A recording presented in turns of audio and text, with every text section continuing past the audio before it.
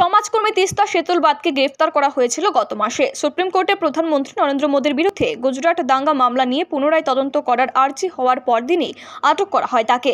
আহমেদাবাদের দায়রা আদালতে তিস্তার বিরুদ্ধে যে হলফনামা পেশ করা হয়েছিল, তাতে দাবি করা হয়েছে দু হাজার দুই সালের গুজরাট দাঙ্গার পর রাজ্যের বিজেপি সরকারকে ফেলতে প্রয়াত কংগ্রেস নেতা আহমেদ প্যাটেল ত্রিশ লক্ষ টাকা দিয়েছিলেন ধৃত সমাজকর্মীকে। শুধু টাকাই নয়, আরও নানা সুবিধা দেওয়া হয়েছিল তাকে। সেই সময় গুজরাটের বিজেপি সরকারকে আসনচ্যুত করতে যে বৃহত্তর ষড়যন্ত্র করেছিল বিরোধীরা, তারই একটা অংশ ছিলেন তিস্তা।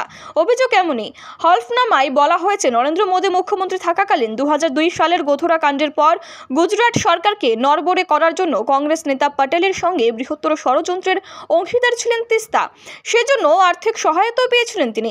ঘটনাচক্রে দু হাজার দুইয়ের গোধরা পরবর্তী গুজরাট দাঙ্গায় ক্ষতিগ্রস্ত পরিবারগুলির পাশে দীর্ঘদিন রয়েছেন তিস্তা। তাদের আইনি সহায়তাও দিয়েছেন তিনি। সেই সঙ্গে হলফনামায় আরও দাবি করা হয়েছে তিস্তা দিল্লিতে গিয়ে সেই সময় কেন্দ্রে ক্ষমতায় থাকা দল কংগ্রেসের নেতাদের সঙ্গে বৈঠকও করেছিলেন। সেখানে আলোচনা হয়েছিল কোন কোন বিজেপি নেতার নাম এই দাঙ্গা মামলায় থাকবে। পাশাপাশি মামলার আরেক সাক্ষীর দাবি দু হাজার ছয় সালে তিস্তা কংগ্রেসের কাছে আর্জি জানিয়েছিলেন তাকে রাজ্যসভার সদস্য করার জন্য। তার বক্তব্য ছিল, শাবানা আজমি কিংবা জাভেদ আখতারের মতো তাকেও রাজ্যসভার সদস্য করা হোক। শুক্রবার ছিল এই মামলার শুনানি। সেখানে তিস্তার আইনজীবী তার জামিনের পক্ষে সওয়াল করলেও তদন্তকারীদের দাবি ছিল এখনও তিস্তাকে জিজ্ঞাসাবাদ করা চলছে। এই অবস্থায় তাকে মুক্তি দিলে তিনি সাক্ষীদের প্রভাবিত করতে পারেন কিংবা প্রমাণ লোপাট করার চেষ্টা করতে পারেন। আদালত তিস্তার জামিনের বিষয়ে এখনও কোনো রায় দেননি।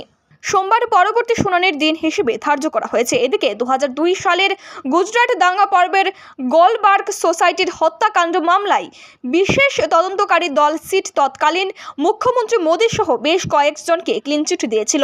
তার বিরোধিতায় মামলা দায়ের হয়েছিল সুপ্রিম কোর্টে।